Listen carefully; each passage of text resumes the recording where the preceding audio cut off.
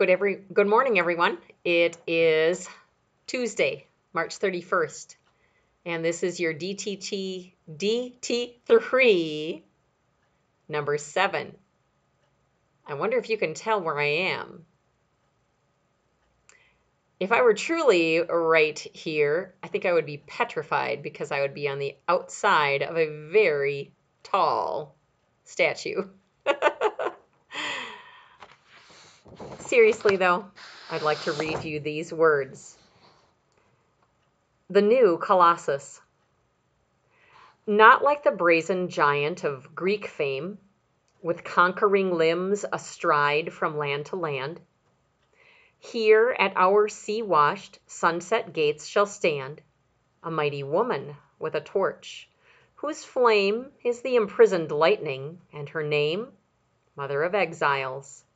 From her beacon hand glows world-wide welcome. Her mild eyes command the air-bridged harbor that twin cities frame. Keep, ancient lands, your storied pomp, cries she with silent lips. Give me your tired, your poor, your huddled masses yearning to breathe free, the wretched refuse of your teeming shore. Send these, the homeless, tempest tossed to me.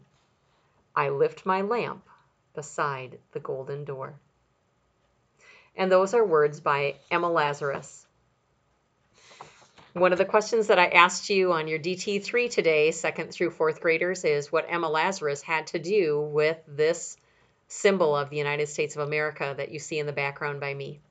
That's a question that you need to answer on your worksheet for me on the Google Classroom have fun doing some exploring about this mighty woman and learning a little bit more about her.